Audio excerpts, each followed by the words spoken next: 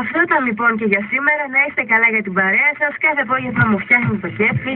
Ξέρω ότι αν δεν είμαι και στα καλύτερά μου, αν είμαι λίγο άρρωστη, αν είμαι λιγάκι αδιάθετη, ξέρω ότι εσείς αμέσως θα μου φτιάξετε το κέφι. Και γι' αυτό σας αγαπάω και γι' αυτό κάνουμε ό,τι καλύτερο για όλους εσάς. Λοιπόν, μην ξεχνάτε ότι την Παρασκευή αφιερώνουμε σε εσάς και στα δικά σας αγαπημένα πρόσωπα τραγούδια που αγαπάτε, γιατί το 2 6 με 8 το έχουμε αφιερώσει σε όλους εσάς και στα δικά σας αγαπημένα ελληνικά τραγούδια. Μπορεί σήμερα να είναι Τρίτης, μπορείτε όμως από τώρα να ζητήσετε το τραγούδι που θέλετε να ακούσετε την Παρασκευή.